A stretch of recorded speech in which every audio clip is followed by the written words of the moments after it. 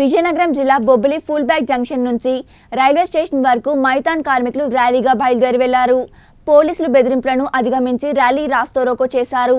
ర్యాలీను భగ్నం చేసేందుకు కార్మిక నాయకులను పోలీసులు ముందస్తు అరెస్టులు చేశారు. రాస్తోరోకో చేసి మైతన్ యాజమాన్యంపై చర్యలు తీసుకోవాలని అక్రమ కేసులు ఎత్తివేయాలని నిరసన చేపట్టారు. పాత కార్మికులందరినీ పనిలోకి తీసుకోవాలని కోరుతూ మంగళవారం మైతన్ పరిశ్రమ వద్ద ఆందోళన చేయగా ఎనభై ఐదు మంది కార్మికులను అరెస్ట్ చేసి నిర్బంధించారు. అక్రమ అరెస్టులపై ఆగ్రహం చెందిన కార్మికులు బుధవారం ర్యాలీకు పిలుపునివ్వగా ర్యాలీను భగ్నం చేసేందుకు సిఐటియు జిల్లా కార్యదర్శి రెడ్డి వేణు జిల్లా నాయకులు బి. శ్రీనివాసరావు సిపిఐ మండల కార్యదర్శి కె. అప్పనను పోలీసులు ముందస్తు అరెస్ట్ చేసి పోలీస్ స్టేషన్కు తరలించారు.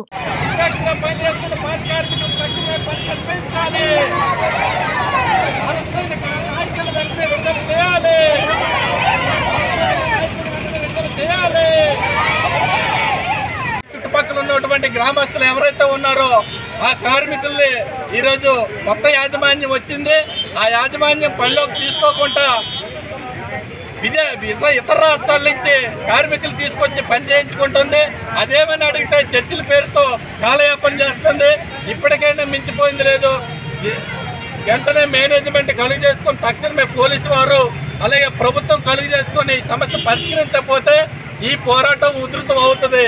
ఇంతే తప్ప ఈ పోరాటం ఏదో ఈరోజు ఆగిపోతుందని ఇవతల పోలీసు వారు కానీ ప్రభుత్వం కానీ భావిస్తే తప్పు.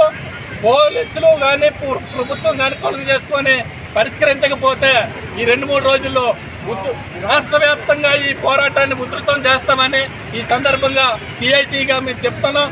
అలాగే సిఐటి కాదు ఈరోజు ఈ పోరాటానికి ఇక్కడ ఉన్నటువంటి అన్ని కార్మిక సంఘాలు కూడా మద్దతిస్తున్నాయి ఈ సమస్య పరిష్కారం అవ్వకపోతే కార్మిక సంఘాలు ఆందోళనతో మరొకసారి సమావేశం జరిపి పెద్ద ఎత్తున ఈ పోరాటాన్ని ఉధృతం చేసి యాజమాన్యం మేడలు వంచుతాం ప్రభుత్వం మేడలు వంచి సమస్యలు పరిష్కరించేటట్టు చేస్తాం.